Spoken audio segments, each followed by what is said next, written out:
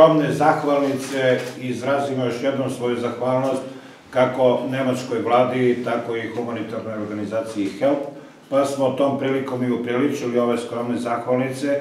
Ja ću zamoliti gospodina Klausa da primi jednu zahvalnicu za nemačku ambasadu.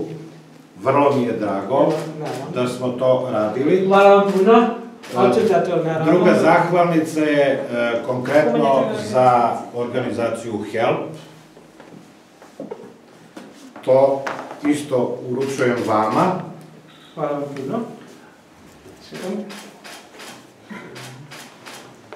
I treća zahvalnica je, ne mogu da pređem preko toga, malo pre sam spomenuo, za gospođu Suzanu. Da smo